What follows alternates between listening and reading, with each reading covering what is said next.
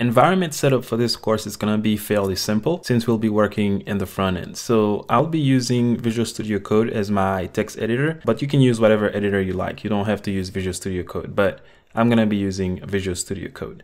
And then I'm going to be using Google Chrome. So we're going to need to access the developer tools and I'm going to be using Google Chrome to do that. So if you want to use Firefox or any other browser, uh, feel free to do that. I'm just showing you guys what I'm going to be using.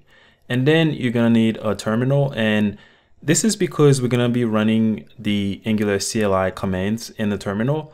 So you guys will need to have some sort of a terminal. Now, I didn't even have to put this on there. Most computers nowadays, they come with a terminal, uh, but I'm gonna show you how you can get one for Windows where you can run Linux commands into Windows. So this is the setup you need. Most of you guys probably already have all of these already, but let me go ahead and show you where you can get those if you don't have them. So to get Visual Studio Code, you just have to go to code.visualstudio.com and then you can download it for your operating system. As you can see, they support Mac, Windows, and Linux. So just go here and then download it for your operating system. Pretty simple, just go through the prompts and then you should be good to go.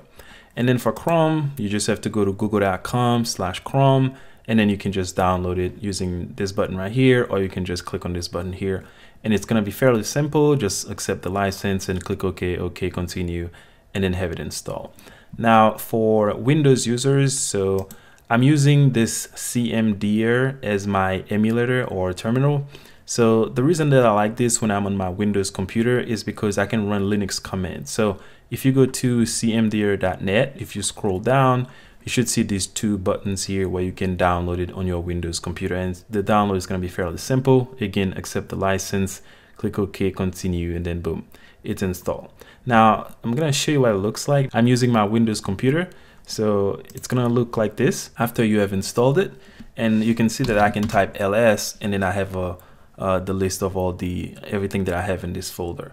So you can run Linux commands as well, like you can do use SSH and many other Linux commands. I don't think you can use all Linux commands for this, but most of them will work in this emulator. So that's why I like to use it when I'm on my Windows computer.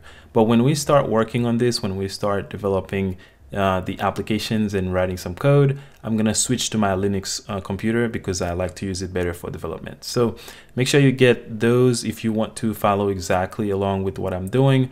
Otherwise, you can use the command line or if you're on a Mac, you can use whatever uh, terminal you want. You can use any editor you want and you don't necessarily have to use Chrome, but I'm just showing you guys what I'm gonna be using.